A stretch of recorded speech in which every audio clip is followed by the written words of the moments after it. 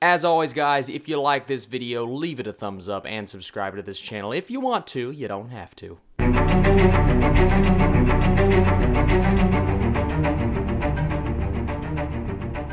What is up, Flick fans, and welcome back to my channel. This weekend, I finally got to see Logan. and you could have it all.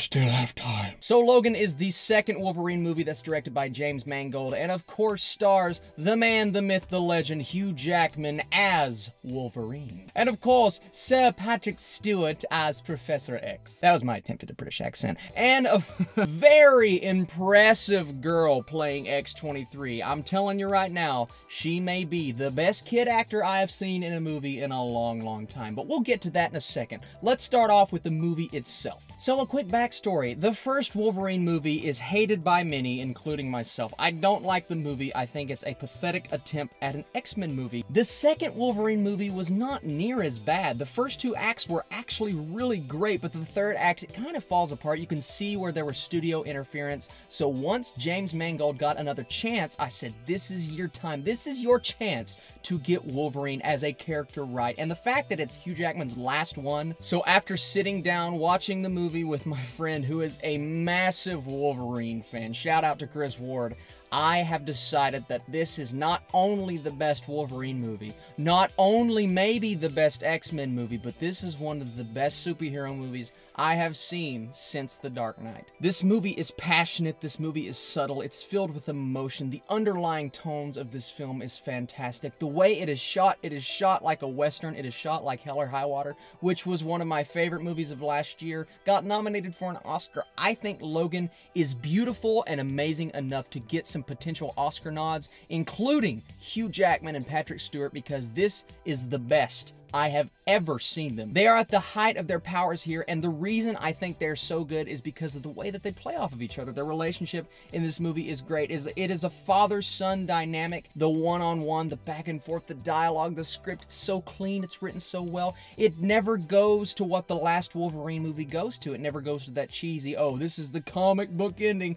No, no, no, no. This thing has nothing comic booky in it other than the fact that there are superheroes in the movie and actual comic books, which I thought was pretty cool. But hey, Hugh, I mean, if you want to come back for a Deadpool Wolverine movie, please be my guest. Let's talk about the violence a little bit. This is something that people have been so excited about. Oh, we finally get to see Wolverine break out his claws and slash some faces with an R rating. So did the R rating deliver? Uh, of course it delivered. This is the best we've ever seen Wolverine. The most violence, the most action. Wolverine doesn't need an R rating because he's worked in PG-13 movies. Yeah, of course he's worked in PG-13 movies, but we get a chance to see what he can really do here. We get a chance to see what not only he he gets to do, but X23, man, she kicks butt. This actress is going to go so far. I hope we get to see her again in this universe. I loved everything about her, and the movie really kind of hinges on her because if she doesn't work, if she doesn't do what she's supposed to do as an actress to carry this character, we will not like the movie because it's kind of like Star Wars Episode 1, right? The movie kind of hinged on Anakin and he didn't really deliver, which makes the movie worse than it actually was, and it already wasn't good to start with. So the fact that she was amazing is fantastic, and I loved seeing this little girl. Loved everything about her. I think her dynamic with Charles Xavier and her dynamic with Logan, kind of like the father-daughter dynamic with both characters. She has that dynamic with both of them, and the, the way that they all three interact with each other is amazing. I thought the villain in this movie wasn't too bad. There's the villain we see a lot of, and then there's, you know, there's the Darth Vader and the Emperor Palpatine. His Emperor Palpatine, he comes in the movie, and it's kind of like, okay, did you need to be in the movie? I see why they did it, but I thought his character was kind of useless, but the main villain, I thought, did a fantastic job. Yes, there were some tone shifts at time, but I really believe that's what makes this movie work. Those small, soft, subtle moments where you're gonna need to bring the Kleenexes, and I'm not even just saying that because because, oh yeah, characters die in this movie. I'm saying that because the conversations that Charles has with Logan and that Logan has with X-23, just the way that they interact with each other, it's sad, it's emotional, it's heartfelt. The script in this movie is absolutely fantastic. I'm just, guys, I'm blown away with Logan. This is the same feeling that I had coming out of The Dark Knight. You know, The Dark Knight is not only my favorite superhero movie ever, it might be my favorite movie of all time.